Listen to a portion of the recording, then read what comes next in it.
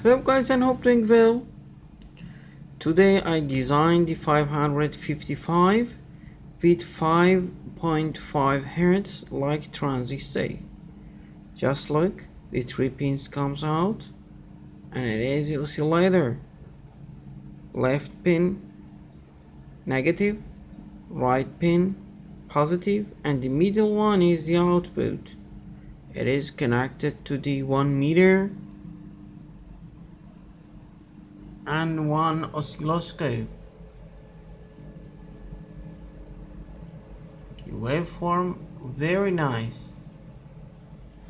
100% you can do much better than me this project because of I try to change several resistor and two three times try to change the cap and finally this is my project.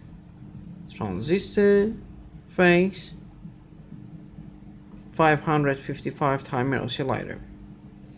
By changing the um, resistors and cap you are able to make your wanted um, oscillation and it is very very easy to do this. And if you are perfect with the soldering I'm sure that you can do much better than me.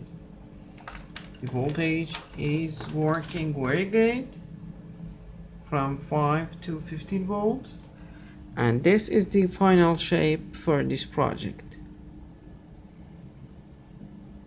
You can directly put to the breadboard or solder to the any connection like this this is